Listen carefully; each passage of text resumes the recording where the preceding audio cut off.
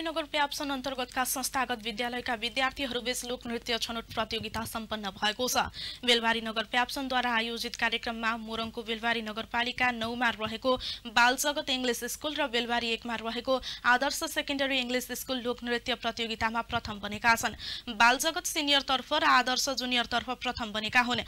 यसै गरी सिनियरतर्फ आदर्श सेकेन्डरी दोस्रो र डाँगीहाट लिटिल बुद्ध तेस्रो भएका छन् भने जुनियरतर्फ शिक्षा सन्देश दोस्रो र सनसाइनिङ स्टार तेस्रो भएका छन्। बेलबारी नौ स्थित बालजगत इङ्ग्लिस स्कुलको प्राङ्गणमा शुक्रबार आयोजित प्रतियोगितामा बेलबारी नगरका निजी तथा आवासीय विद्यालयहरूको सहभागिता रहेको र प्रतियोगितामा प्रथम र दोस्रो हुने टिम जिल्लाका लागि छनौट भएको प्याप्सन बेलबारीका अध्यक्ष भगवती प्रसाद घिमिरेले जानकारी दिनुभयो।